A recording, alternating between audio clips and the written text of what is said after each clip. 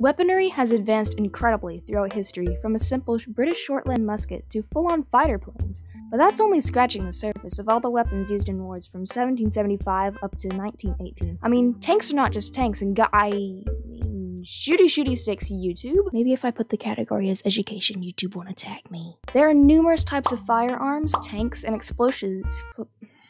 And explosives and for us, it starts in the Revolutionary War. Call this an American history review, if you will.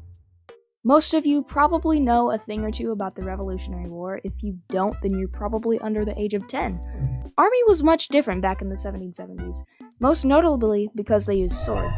According to the American Revolution Institute, the small sword, yes, it's called that, was the most common sword carried by American officers during the Revolution. Some officers used the, the, the cut, cutto, cut, cut, yes, or hunting sword, a short sword which was basically used as a prop to say, hey, look at me, I'm an officer, rather than actually being used to defend themselves. But hey, first impression matters, I guess. And horsemen carried a long sword called the horseman's saber. But Americans were not the only ones who carried swords. In fact, there are more than just Americans and Brits involved. The French and the Scots contributed to the revolution and all used swords. The Brits and Scots used the Highland. Hi- Highland broadsword. These swords were imported from Germany and into Scotland and used by British dragoons. But the Americans took the swords from the battlefields and British supply ships because, I don't know, they probably just wanted it considering it's America. The French carried a sword known as the épée d'officier. Épée Day Officer, Day Officer, yes. Sadly, this weapon was designed for thrusting, making it impractical during combat. But with firearms, why use swords? Which is a question for another day, and the answer is probably because they look cool. I mean, they also use axes and tomahawks, so quite the barbaric tactic if you ask me. Nobody asked. And that takes us to firearms of the Revolution. Now, when you think of firearm, you probably think of more common weapons, such as the assault. I mean, Fortnite Golden Scar. But the Revolution shooty shooties were a lot different. I mean, for starters, the coverings were made out of wood, unlike most common firearms, and there was very little variety. And I'll say that with a grain of salt, considering you can argue by saying they used many different types of muskets and pistols, but that's it. The most common musket was the Shortland musket, or more commonly known as the Brown Bess. This was the standard issue infantry weapon of the British Army at the start of the war. But of course, in the early months of the conflict, Americans seized the weapons and kept them in colonial storehouses. Ooh, I gotta have that. Which is funny because muskets were by far not the most accurate firearm in the world. Muskets were lethal up to about 175 yards, but were only accurate to about 100. According to the Journal of the American Revolution, normally the shooter would look down the barrel and align his rear sight, the sight closest to his face, with the front side of the target. This cannot be done with the musket since there is no rear sight.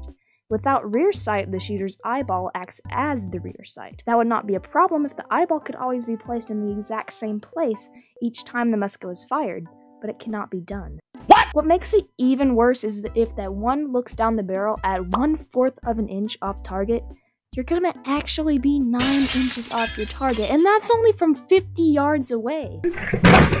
Plus, the Brown Bess is actually more than 10 pounds, which is about as heavy as a small microwave oven, so have fun carrying that across the battlefield. Continuing with muskets, we also have the French model infantry musket, the Spanish model infantry musket, and the Pennsylvania long rifle. The French model became the most common weapon carried by American troops besides the Brown Bess. Which is funny because they were imported from France and into Portsmouth, New Hampshire. There seems to be a trend of getting weapons from other countries. Oh, wait a minute, the Pennsylvania long rifle is made in America, never mind. In fact, the long rifle is the most iconic American manufactured weapon, and arguably better than the Brown Bess and French infantry musket. These rifles had many advantages, like being lightweight and being way more accurate than other firearms. It wasn't actually used as widely as the Brown Bess or French infantry, which is strange considering it was more accurate, but you do you, America. The Spanish also had their own musket. The Spanish provided supplies to the Americans, including gunpowder, and the Spanish infantry musket.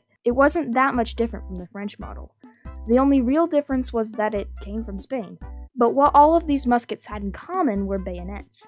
Bayonets are long sword-like sticks attached to the end of muskets that can be detached and reattached. Just a quick little tidbit so I don't leave it out. Aside from muskets, there were a couple of pistols used. No, not that pistol. This pistol. Looks a lot different, right?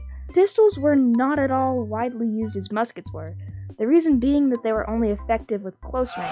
At least that's one thing shooter games got right. The holster pistols were used by officers, who would carry them in pairs. They're intended for use in the cavalry, soldiers on horseback. On the complete other hand, the Hessian Dragoon pistol was commonly used by Germans on horseback, working for the British, hence the term Hessian. Holy crap, it's Hessian, get it right, I can't believe you done this. But I kid you not. The Americans decided they need more weapons and captured it. But there is one more category of weaponry that is incredibly iconic to the Revolution. That's right, it's the cannons. There are a few different types of cannons, including the field gun, mortar, and howitzer. They all look relatively similar, except for the mortar which is situated in a block of wood and shoots an exploding shell called a bomb. Literally, this thing is a giant grenade launcher. The interesting thing about this weapon is that it explodes while still airborne and rains shrapnel all over the enemy. Pretty insane if you ask me. Any askers? The most iconic is the field gun, aka cannon thingy with giant wagon wheels. These cannons were lightweight and fired solid shot, grape shot, and canister shot. Similarly, the howitzer was just like that, only a bit shorter with bigger wheels and could also fire bombs. Call it a combo meal of the mortar and cannon. All of these, from muskets to cannons, have only scratched the surface of American weaponry, which is why Civil War is what I would say if I had enough time, but since this is a project that is due as I'm recording this second segment at 11 o'clock at night, I sadly had to cut it really short. But hey, if this is something that you are interested in, I still have the rest of the script all written, so leave that like for part 2 about the rest of the American involved war weapons. I might just complete this for fun. Now if you'll excuse me, I need to edit this last bit before 12 a.m.